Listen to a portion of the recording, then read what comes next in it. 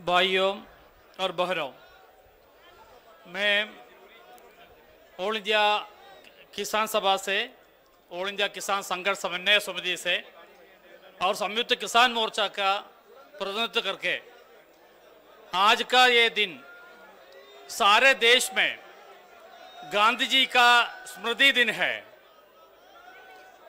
और सुबह नौ बजे से पाँच बजे तक ਮੈਂ ਸਾਰੇ ਸਾਥੀਆਂ ਨੂੰ ਬੇਨਤੀ ਕਰਦਾ ਕਿ ਉਹ ਬੈਠਣ ਦੀ ਕਿਰਪਾਲਤਾ ਕਰਨ ठीक है हमारा सारे देश में किसान शांतिपूर्ण तरीके से हु- भूख हड़ताल कर रहा है हम भी कुछ भी नहीं खाया है नौ बजे से हम भी कुछ भी नहीं खाया पांच सत्रह को ने- ऐसे 1948 में जनवरी 30 को हमारे राष्ट्रपिता का छाती में तीन गोली चलाया था उनका नाम था नादूराम गोडसे हम सबको पता है और वो नादूराम गोडसे को अभी भी जो आराधना करता है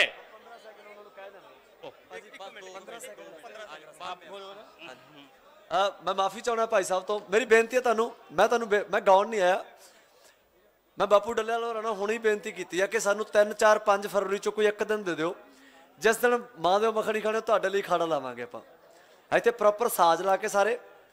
ਤੇ ਪ੍ਰੋਪਰ ਸਾਊਂਡ ਜਿਵੇਂ ਚਲ ਸਾਊਂਡ ਤਾਂ ਪਹਿਲਾਂ ਹੀ ਬਹੁਤ ਵਧੀਆ। ਆਪਾਂ ਪ੍ਰੋਪਰ 3 ਘੰਟਾ ਦਾ ਪ੍ਰੋਗਰਾਮ ਦੇਵਾਂਗੇ। ਉਸ ਪ੍ਰੋਗਰਾਮ ਦਾ ਨਾਂ ਹੀ ਇਹ ਹੋਊਗਾ ਸਰਬ ਧਰਮ ਸਾਂਝਾ ਸੰਮੇਲਨ।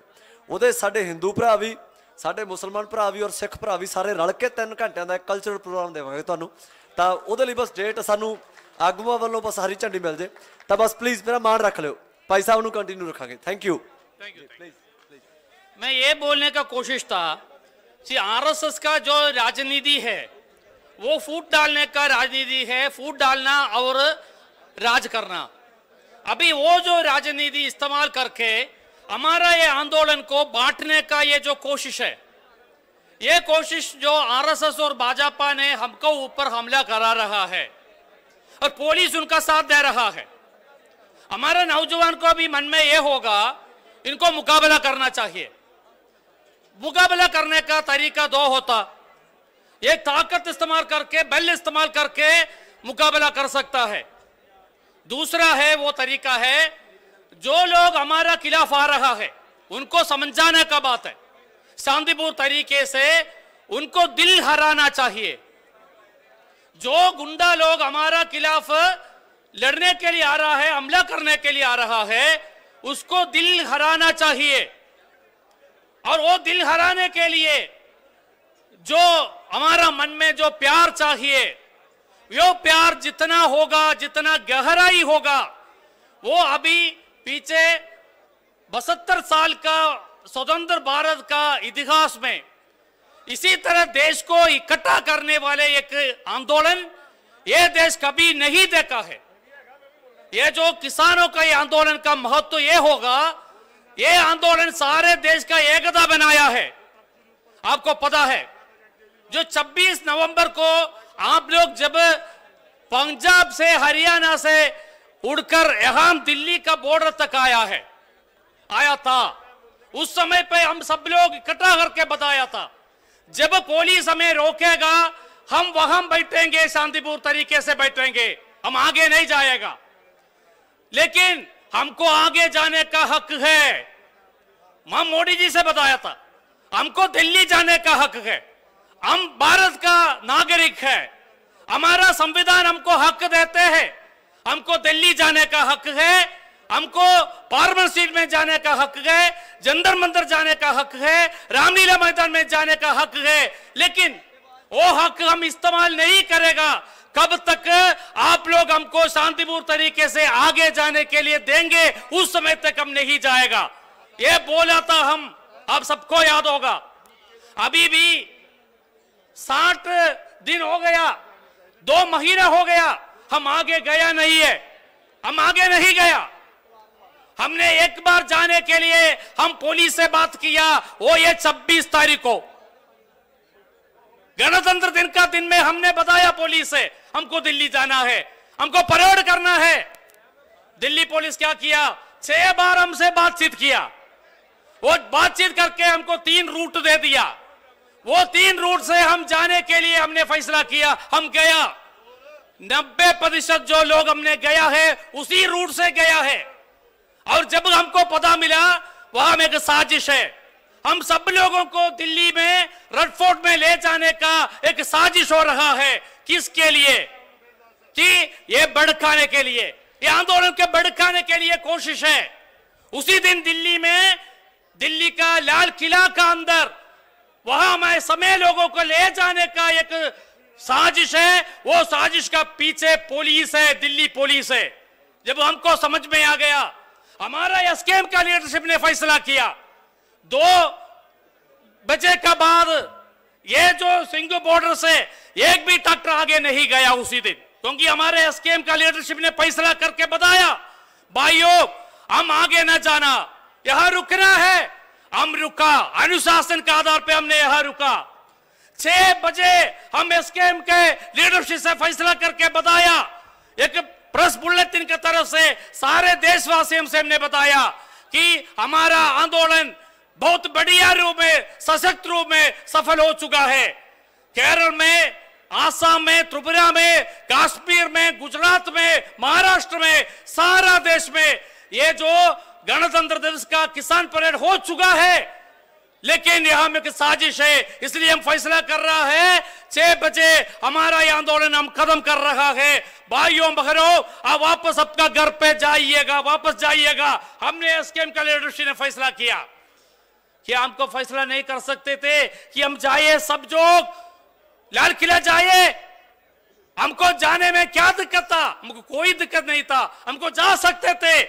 हमको यहाँ सिंगू बॉर्डर में और गाजीपुर बॉर्डर में, टिक्की बॉर्डर में, शाहजहांपुर बॉर्डर में बैठने का कोई ज़रूरत नहीं था।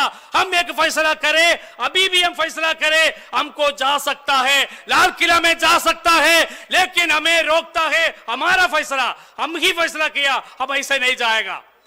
लेकिन आप समझ लीजिए, इसका अंदर क्या हुआ है? अभी आरएसएस का नेतृत्व नरेंद्र मोदी जी का गवर्नमेंट ऐसे सोचता है कि जितना देर तक खींचकर खींचकर जाएगा, उतना समय तक ये आंदोलन कमज़ोर होगा। आंदोलन का जो लोग भागीदारी कर रहा है, उनका मन में निराशा पैदा होगा। बाद में वो छोड़कर चले जाएगा। ऐसे वो सोचता है, वो गलत सोच। वो गलत सोच। जैसे उन्होंने किया करने का कोशिश किया गाजीपुर में। गाजीपुर में क्या हुआ? मैं विस्तार में नहीं बोल रहा हूँ। गाजीपुर में वो हटाने के लिए कोशिश किया, उस समय पे क्या हुआ? हमारा एक नया लीडर का तरीके में सारे देश में राजेश टिकायत को सब लोग जानते नहीं थे। अभी सारे देश जानता है, सारे दुनिया जानता है कौन है राजेश टिकायत राजेश टिकायत हमारा किसान मूवमेंट का बड़े नेता का रूप में बन चुका है। कौन बना है? मोदी जी बना है उनको। सही है ना? मोदी जी बनाया राजेश टिकायत को सारे देश का, हमारा सबके दिल में अभी राजेश टिकायत है। उन्होंने बताया, हम एक साथ बैठकर फैसला किया था। लोग कम था।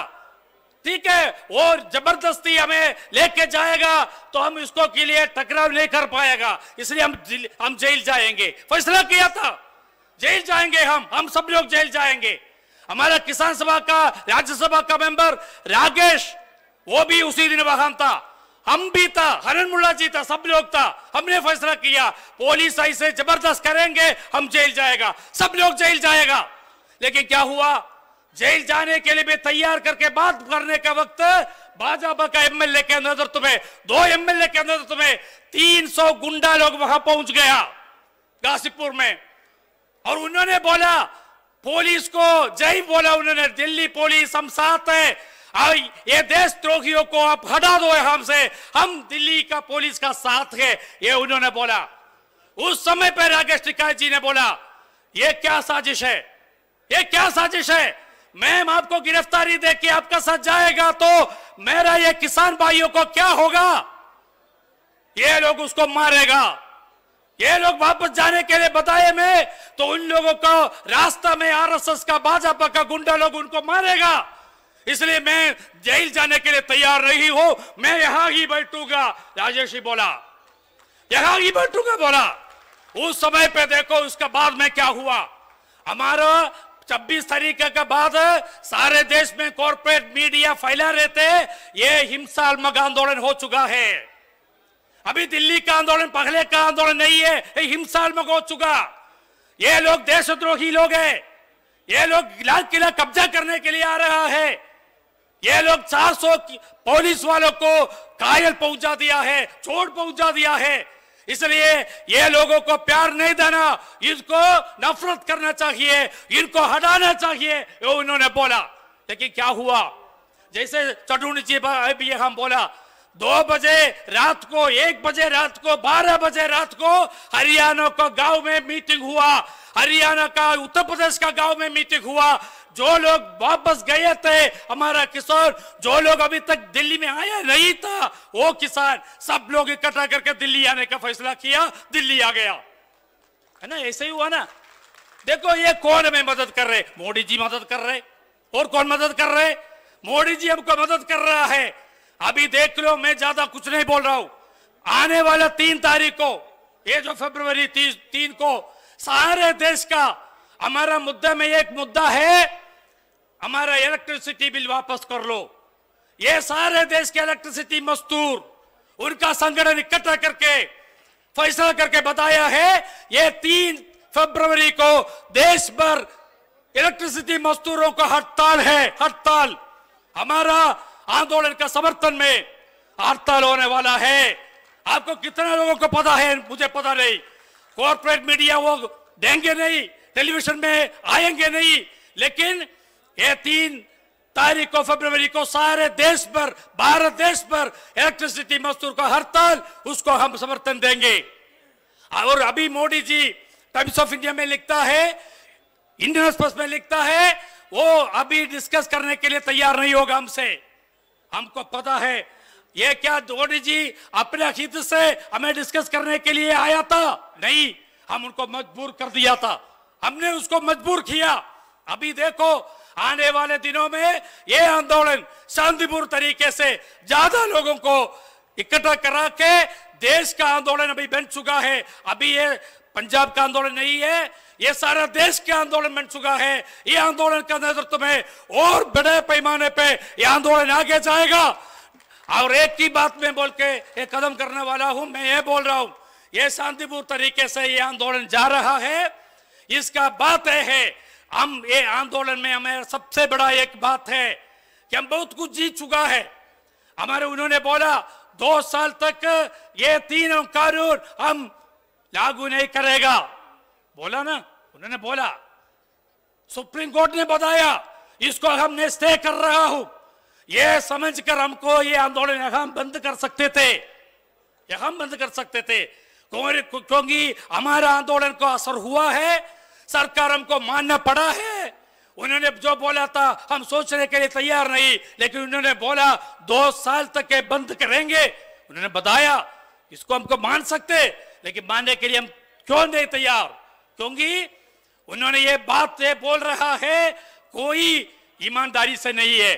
उनको कोई ईमानदारी है। तो हमारा सबसे बड़ा मुद्दा है, हमारा एमएसपी को कानून बनाओ। एमएसपी का कानून। ये बात बोल के मैं खत्म करूँगा। हमारा एमएसपी का क्या हो रहा है? आपको पता, हमारा सबसे ज़्यादा बसमती का पैडी आप पैदा करते हैं पंजाब और हरियाणा। कितना रुपया मिलते हैं हमको? अठारह रुपया किलो को मिलता है। पच्चीस रुपया मिलता है। तीस रुपया मिलता है। और इससे कौन खरीदते हैं? अडानी का तरह लोग खरीदते हैं। और कितने रुपये में बिक्री करता है? दो सौ आठ रुपया में एक किलो स्पेशल बसमती राइस उन्होंने बिक्री करता है। सही है ना?